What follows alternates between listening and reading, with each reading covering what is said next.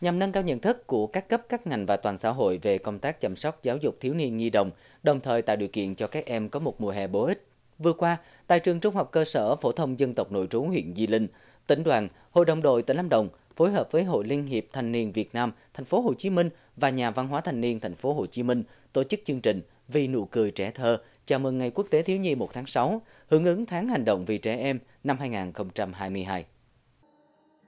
Chương trình Vì nụ cười trẻ thơ lần này mang đến cho các em thiếu nhi nhiều niềm vui thông qua chương trình nghệ thuật đặc sắc đến từ các văn nghệ sĩ thành phố Hồ Chí Minh.